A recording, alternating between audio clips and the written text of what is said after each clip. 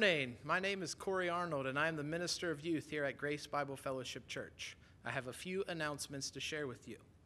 The May edition of Table Talk magazine is available in the plastic bin outside of the main entrance to the church, as well as some additional resources that are typically available in the entryway. Please come by and pick up these materials.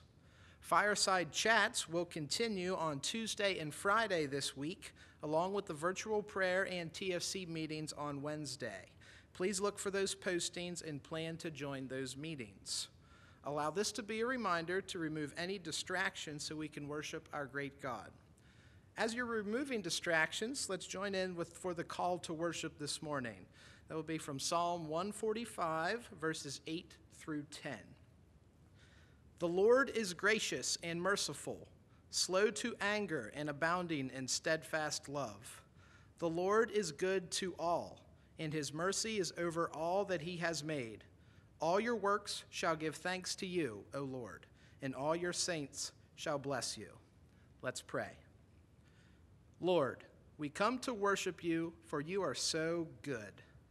You're gracious and merciful, and your mercy covers all that you have made. You alone are worthy of our worship.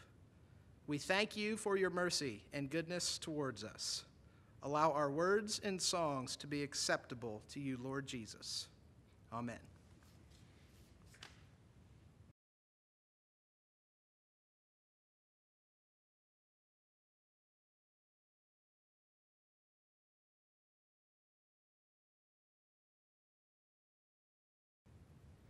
Good morning. I'm Pastor Tim, the assistant pastor here. I'm going to be reading our scripture reading this morning, which comes to us from Matthew chapter 16. I encourage you to turn in your Bibles there and join me. It's Matthew chapter 16, and we will be starting in verse 13 and reading the text of our passage, which will go through verse 20. Follow along as I read. Now, when Jesus came into the district of Caesarea Philippi, he asked his disciples, Who do people say that the Son of Man is? And they said, Some say John the Baptist, others say Elijah, and others Jeremiah or one of the prophets. He said to them, But who do you say that I am? Simon Peter replied, You are the Christ, the Son of the living God. And Jesus answered him, Blessed are you, Simon Barjona, for flesh and blood has not revealed this to you, but my Father who is in heaven. And I tell you, you are Peter and on this rock I will build my church, and the gates of hell shall not prevail against it. I will give you the keys of the kingdom of heaven, and whatever you bind on earth shall be bound in heaven, and whatever you loose on earth shall be loosed in heaven. Then he strictly charged the disciples to tell no one that he was the Christ. Would you pray with me? Heavenly Father, we come to you and we are so thankful. We are thankful people because we know that the declaration that we have just read is true that Jesus is the Christ, He is the promised one who would come to be the King of your people. Lord, we are so thankful that He did in fact come and that He gave His life as a ransom for many. And we thank you for the promises that He will return again for those who trust in Him. Lord, we are reminded in this passage of, of the trust that the disciples had in you. We pray that this trust would be the same in us, that we would put our whole faith and trust in you. Lord, this is a difficult time that we have been living in. We have been out of our routines for, for two months now. We have been disrupted in life, and worse than that, by, by far, are the people that we have seen who have been sick and dying around us. Lord, things are difficult, things are hard for us, and so we come to you and we know that that you are our rock. We hear the promises repeated from the Old Testament and in the book of Psalms that you are a rock, a fortress for your people, where we can come and we can receive comfort in time of need. And so we pray that this morning, Lord. We pray that for the people of this church, for the people of this world. There are so many who are hurting, so many who are in mourning at the loss of loved ones, at those who have died, and Lord, we, we cannot comfort them the way that we like to. We cannot be with them and, and offer them uh, our shoulder to cry on. And so we pray that you would be the God of all comfort to them and that they would come to trust you and, and rest in you in a, in a more profound way now than, than ever before. Lord, there are so many people in this church who, who are uh, dealing with, with many pressures the pressures of, pressures of not being able to make an income because of a loss of a job, or maybe the pressures of, of being overworked at their place of employment. There are pressures that come along with changes to family routines. And so we pray, Lord, that you would, that you would come and you would give grace and that you would help us, that you would help us to serve you and to know what that looks like in these times. For those that uh, have been negatively affected and, and whose, whose livelihoods and, and health have been taken away at this time, Lord, we pray for comfort for them. We pray that we as the church, as the, as the people of the church, would reach out to them and would help them in whatever ways that we can. Lord, we also pray for, for this world. There are so many people who are in great need. And so we think of uh, the governments, we think of healthcare professionals and, and those who, who are in charge and have been given great responsibility. Lord, we pray that you would give them wisdom. We pray that you would give them insight. We pray also that your word would go forth we do not simply pray that people uh, would recover. We, we do pray that, Lord. We pray that you would take this illness away. But we pray that you would use even these negative circumstances, even the bad things that happen, to show people who you are, and that lives would be changed for eternity as a result. We pray all this, trusting in your holy and precious name. Amen.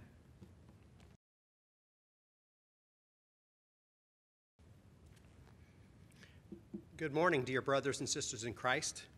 Would you pray with me? Heavenly Father, we have this wonderful opportunity to study your word.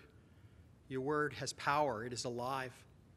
And I pray, Lord, that it would be alive to us, that it would achieve the purposes for which you send it. So send your word out with power this morning, I pray, in Jesus' name. Amen. I invite you to open your Bibles to Matthew chapter 16. This morning, we're going to embark upon a new series called The Permanent Prevailing Church. What is the church to be? What are Jesus' plans and purposes for his church? These are things that are not just important, but absolutely necessary for us to know as Christian believers because when God saves sinners, he saves them into the church. Now, what does that look like? And what is the church anyway? What is the church to be? And how do we fit into it as individual men and women, boys and girls? Well, we're going to find answers to many of these questions as we study the first two chapters in the book of Acts. But this morning, I want us to go back even further. Because even before the church was established, our Lord gave us a sneak preview in Matthew 16 in the passage that Pastor Tim has just read for us. In Matthew 16, Jesus describes for us in some detail the enduring nature of his church. And you can get a great picture of what's happening here as this, as this section proceeds. Jesus takes his disciples into Caesarea Philippi. It's a community about 25 miles north of the Sea of Galilee. It is a Gentile community, it's a pagan place filled with pagan idolatry. While in Jesus' time it was named for the Roman Emperor Caesar and Herod Philip, also known as Philip the Tetrarch, who was the son of Herod the Great, who served as the puppet ruler of Galilee, originally it bore another name. It was called Paneas in honor of the Greek god Pan. Pan was a half man, half goat deity who was considered to be the god of nature, the god of wooded areas, the god of pasture lands. And in earlier days, there was in Caesarea Philippi a cave filled with water and a precipice on top. And these pagan believers would actually throw live children down into the entrance of the cave. They would make living sacrifices of them. That cave bore a name. It was called the Gates of Hades. So you can imagine, this is where Jesus brings his disciples to teach them an important lesson about God's kingdom and the power and authority that's at the heart of that kingdom. It's here, at a, in a place where that where his disciples were probably intensely uncomfortable as they're surrounded by pagan shrines. It's here that Jesus asks a question.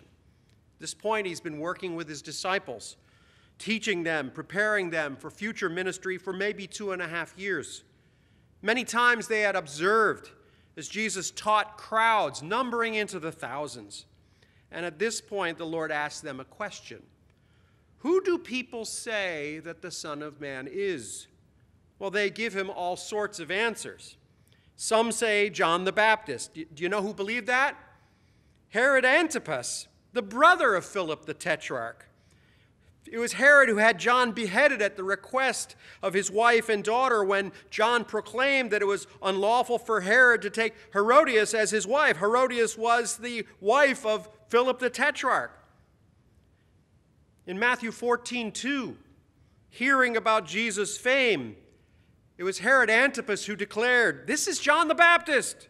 He has been raised from the dead. That is why these miraculous powers are at work in him. So, as as Jesus hears the answer, some say John the Baptist, it's that kind of response. And, and John the Baptist was a great man, but Jesus is not John resurrected. John was right when he said of Jesus, He is the one who comes after me, the straps of whose sandals I am not worthy to untie. Likewise, we hear other names Elijah, Jeremiah, or one of the prophets. They are all good and godly men but they are mere shadows compared to the glory of the Lord Jesus. But this is what people believed. Even as they heard Jesus teach and saw him heal and even bring people back from the dead, what a reminder that even today, people have all sorts of ideas concerning Jesus. There's no clarity, no unity in what they decide. And what is often said about Jesus would almost be comical if it were not so tragic. It's no wonder that in verse 20, Jesus charges his disciples not to tell anyone that he's the Christ. At this point, they wouldn't have correctly understood. Jesus already knows what the masses believe concerning him. Now he wants to hear from the disciples what they believe.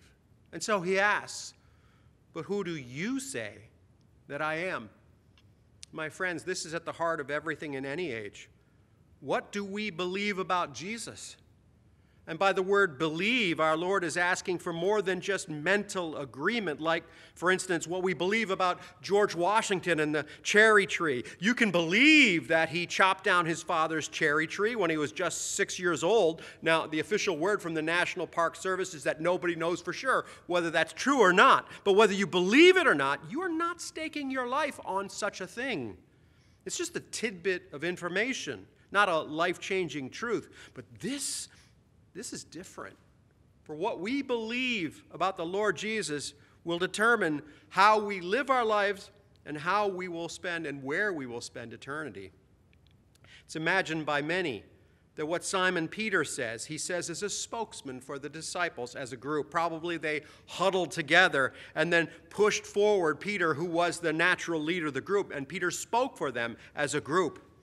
And what he exclaimed, and this is an exclamation, it's not something said with cool detachment. What he exclaimed is the absolute truth of who Jesus is when he says, You are the Christ, the Son of the living God. It's a perfect statement of trust stated by an imperfect follower of Jesus. But it is the absolute truth, and it's at the heart of Christianity. The church, whatever it is, is based entirely on the belief that Jesus is the Messiah, that he is the Christ, the Son of the living God. This foundation rests on the fact that Jesus is the long promised Savior of a people that He, as God's only Son, very God of very God, has saved for Himself and has redeemed by His own precious blood. This is such an amazing passage about the church that Christ is building as the community of his blood bought people. It is rich. It is controversial in the sense that people have been arguing about what Jesus meant by what he says here for centuries. And it is at the heart of who we are here at Grace Bible Fellowship Church, is just a, a tiny part of the greater entity that is the church. When we understand this text properly, we begin to see who we are and what God wants for us as a congregation. So, what I'd like to do in our time together is to pursue understanding by the root of looking at just four words. Three of them actually appear right in the text itself. The fourth is what we call what Peter actually said. So, here are the words confession, and then rock, gates, and keys.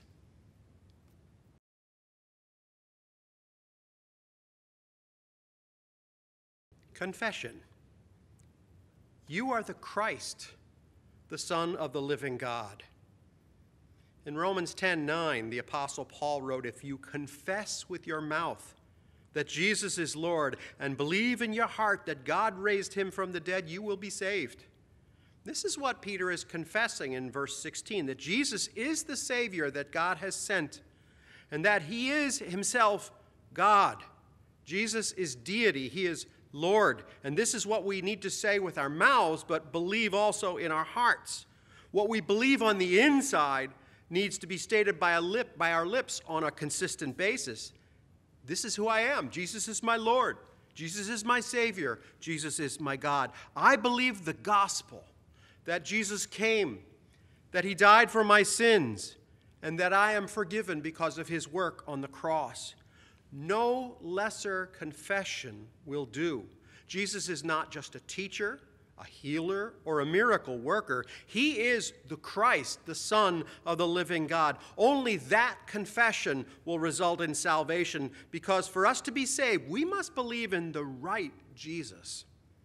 Now, how do we come to that point? Where we understand correctly who he is and are willing to believe this about Jesus, and then to speak so freely and enthusiastically of him? Well, Jesus tells us here. He congratulates Peter for his confession. He says, Blessed are you, Simon Bar Jonah, Simon son of John or Jonah. And Peter is blessed for his very overt confession of the truth about Jesus. Not just because he says the words and get, gets it right, but because despite all his failures and all Peter's imperfections, this is what Peter really believes about Jesus. He doesn't get it all yet. He won't get it all yet until after the resurrection, but he gets enough. And Jesus commends Peter for giving clear evidence of a real work of God in his life. But that's really the point. It's God who is at work in Peter making possible Peter's confession of the truth about Jesus. So, note what follows in verse 16. For Jesus says, For flesh and blood has not revealed this to you, but my Father who is in heaven. How is it that Peter was able to give this great confession? Not because Peter is perceptive or because Peter has an intelligence many others don't have. It's, it's easy to draw that conclusion even based on what we read here. For many others had heard Jesus teach, they had seen Jesus heal, they saw him work miracles, and yet they come away thinking that Jesus is John the Baptist or Elijah or Jeremiah or one of the prophets. On the other hand, Peter, with a closer relationship with Jesus, but with some of, and much of the same data that they had, declares that Jesus is the Messiah, the Son of the living God. Wow, Peter, you must surely be sharp to get what so many others missed, right? But no, that's not it. Peter doesn't see with clear eyes because of Peter. Peter sees clearly because God has opened his eyes. It's not flesh and blood, Peter himself, that brought Simon Peter to this conviction about Jesus. Peter's faith in Jesus is the work of God, not the work of Peter, even though Peter really believes what he believes about Jesus. My friends, without God's work, the gospel is pure gibberish to people, it's foolishness. Listen to what the Apostle Paul wrote in 1 Corinthians 2, verse 14. He writes, The natural person, that is, the person without eyes opened by God, the natural person does not accept the things of the Spirit of God, for they're folly to him. And he's not able to understand them because they're spiritually discerned, as in of the Holy Spirit, as in God opening the eyes of people. And this is hard for us to admit that we believe in Jesus because God gives us the faith to believe as a gift, but it is right here. The way salvation works for Peter is the same way salvation works for any one of us. And yes, it's hard because it's part of our hard wiring to want to say, I did this, I deserve credit for it. Years ago, during a reelection campaign speech in Virginia, the sitting U.S. president said, If you've got a business, you didn't build that. And he was roundly criticized because it was surmised that he was saying that people don't deserve credit for their own hard work, and everybody rose up in arms against him. But isn't that our natural inclination? I believe in Jesus because I myself came to that conclusion. But salvation, Jesus is telling Peter, and he's telling us, is a true work of God's grace. I believe, you believe, Anyone who trusts in Christ believes because God opened our eyes so that we could see the beauty and the glory and the majesty and the grace and the mercy of Jesus Christ, the Savior of sinners. Faith is a gift, like salvation is a gift. And that does rest securely right alongside our own personal professions of faith. Here, Peter is declaring what he really believes with all of his heart, and yet at the same time, the truth about Jesus was revealed to Peter by God.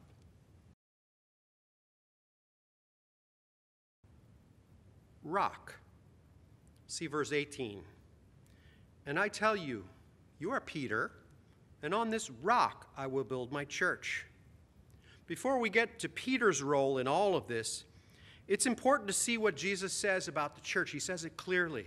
It is his church and He is building it. Now, what is this church that our Lord Jesus is building? The answer is found in the word church.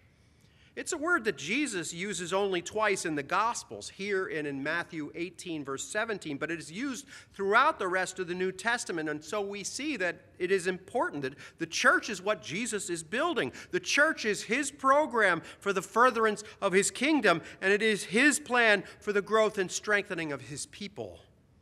Now, the word church here is the Greek word ekklesia, which is the translation of the Hebrew word kahal.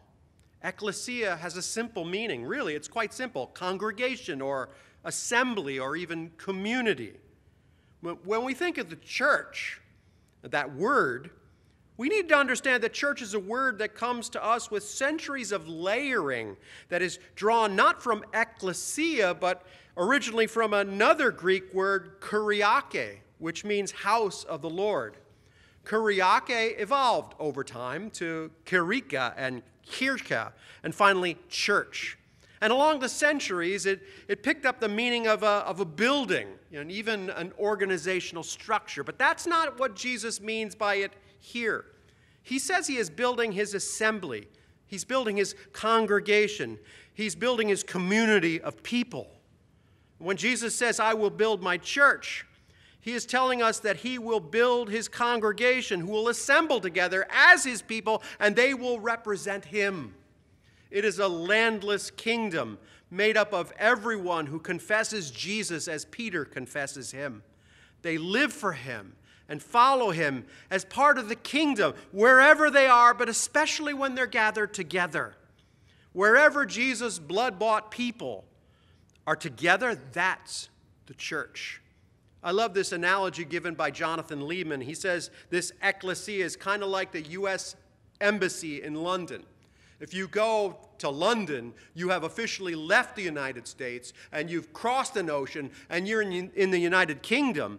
But walk inside the embassy and they will tell you that you are standing on American soil. So the idea here is that Christ is building his church and he's building it on enemy soil. Now, what, in what sense is Peter the rock upon which our Lord is building that kind of ecclesia? Well, many things have been said, written, and believed over the centuries. The church in Rome says that what Jesus is doing here is establishing a line of succession that starts with Peter as the first pope, that Peter is the first in a line of men whose decisions are infallible and who rule over millions of believers. I, I have to be honest, I, I find that hard to take seriously when just a few verses later, Jesus takes Peter aside and says to him, Get behind me, Satan because Peter opposes Jesus' talk about being killed and raised on the third day. At that point, Peter is not a rock of building, but he is what the New Testament calls a stone of stumbling or a rock of offense. Now, if that's not what Jesus is saying, What then is he saying? And how does Peter fit into that? Well, Jesus is using building terminology. The church isn't a building, but Jesus is nevertheless building his church. And Peter's part of that. Peter, when he declares the gospel, as he's going to do in amazing ways, we're going to see in Acts chapter 2 at Pentecost. Peter, when he makes confessions like he does here about Jesus. Peter, when he preaches at Pentecost. Peter is doing something essential. Peter's name, we must remember, means rock. And there's an interesting play on words here. Peter is Petros in Greek. The word rock here in verse 18 is Petra, but they're linked. The rock, Peter, and the rock on which Jesus is building his church. Part of that rock is Peter's confession that Jesus is the Christ. Part of it is also Peter and others like him, the apostles as a group, and faithful ministers of the gospel and faithful witnesses to Jesus Christ. They're all construction stones in what our Lord is building. They are instruments that Jesus uses in the building of his church. If you don't believe that, I want you I invite you to turn on your own to Ephesians 2 verses 19 through 21 and follow the building analogy that the apostle Paul uses when he talks about those who have been brought to saving faith. He talks of them as members of the household of God, built on the foundation of the apostles and prophets, Christ Jesus himself being the cornerstone, in whom the whole structure being joined together grows into a holy temple in the Lord. So, Peter, we'll see in the book of Acts, was an important stone in the church that Jesus is building. You look at any one of the first 12 chapters of Acts, and Peter is a central figure, and he was mightily used, especially at Pentecost, when he preaches a sermon that God uses to bring 3,000 souls into the church on a single day. Peter didn't build the church, and the church does not belong to Peter. Peter is not the foundation of the church, Jesus is. It is the Lord's church. But our Lord is using the likes of Peter. And Peter correctly understood that that work continues and that Jesus is even using the likes of us in the building of his assembly, his congregation, his people. Listen to Peter's own words, written years later in 1 Peter 2, verse 5. Peter writes, You also, like living stones, are being built into a spiritual house to be a holy priesthood, offering spiritual sacrifices acceptable to God through Jesus Christ. We ourselves, even you, even me, are living stones that are being built into the church that Jesus is building, and it's indestructible gates. And on this rock I will build my church, and the gates of hell shall not prevail against it. Imagine Jesus saying these words as his disciples looked over the cave that was called the gates of Hades, where many children had been thrown to their deaths. What a word picture for the truth that he conveyed. Now, what did Jesus mean by the gates of hell? There are a lot of thoughts, and many of them are worthy of consideration. In a citadel, for instance, the gates were often the most strongly defended point. Now, this would suggest that the church is attacking, but the language of prevailing suggests that the offense and defense and that we will withstand another's attack. Others believe that the gates of hell is simply Jesus employing a Hebrew idiom for death, that death will not prevail over the church that Jesus is building. Or perhaps we need to see that the gates are that place where plans are made. It often it worked that way in the ancient world. At the gates, plans would be made and strategies would be formed. Ian Hamilton calls this the organized powers of darkness. The organized powers of evil and of darkness will not prevail against Christ's church. Which one is it? I would say, my friends, let's not quibble. The point, though, is this the enemy of our souls will not win.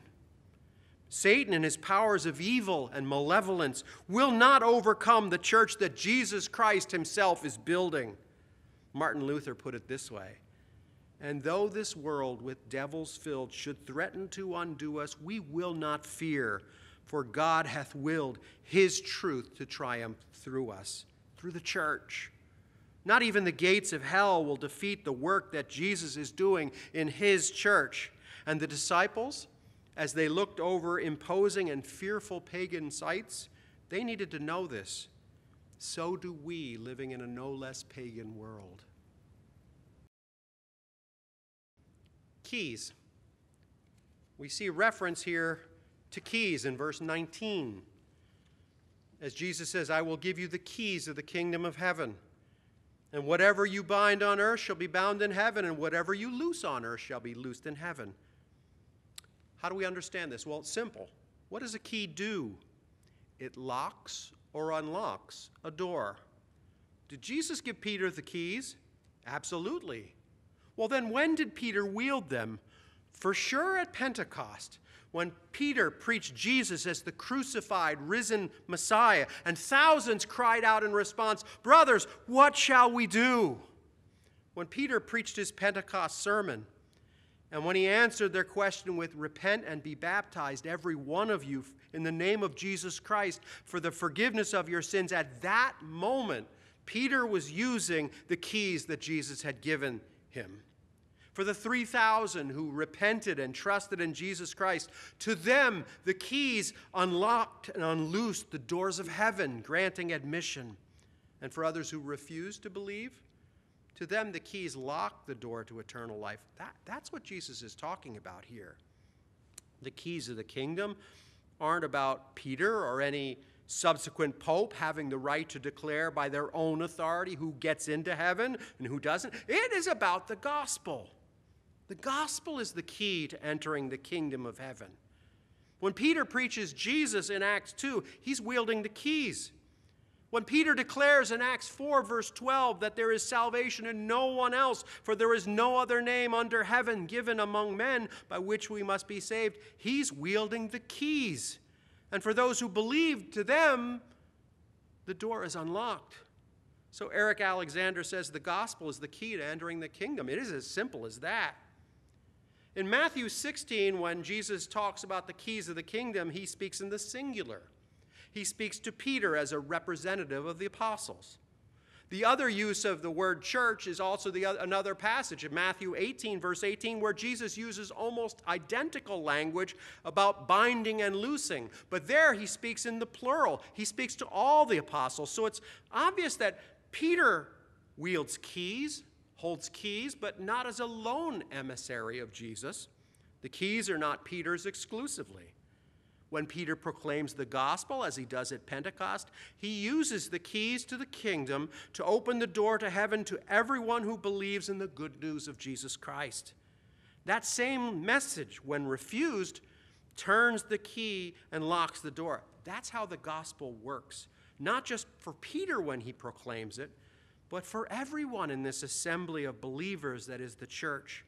As we fulfill our Great Commission calling to declare the gospel to all nations, we do not open or close the door on our own authority, but the message we bear as his ambassadors, the message of the gospel, when it is believed, the door to the kingdom of heaven swings open.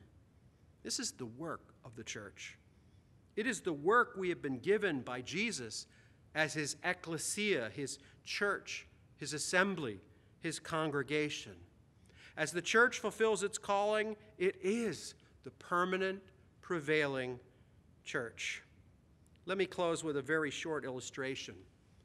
Around the year 1930, Lord John Reith he spoke to a group of young executives in the BBC, that is the British Broadcasting Company. He was a, Lord Reith was a large, imposing man, and he comes upon these executives and he sees them at work on a task. What are they doing?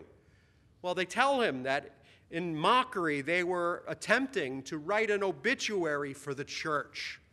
But Lord Reith, as a Christian, just looked them in the eye with his imposing stature and said, Gentlemen, the Church of Jesus Christ will stand at the grave of the BBC. My friends, the one institution that will stand when everything else is collapsed is the Church of Jesus Christ, the Son of the living God. Let's pray. Father God, I thank you that You've caused us to be born again into the church. Help us to understand properly what that means and to just so appreciate things like corporate worship, corporate fellowship, corporate prayer. These are things that, that the church is, is to be known for. The church is to be an example of, an illustration of to a lost and dying world. Lord, I am so grateful for the church that you are building. I'm so grateful that it's not my church. I would do nothing but ruin it. It's not my church, it's your church, but I'm delighted to just be a, a small stone in the building you are building. Lord, thank you for your church. Um, may we eagerly participate in it and delight in our brothers and sisters who are part of it. Help us to see the church the right way as you see it.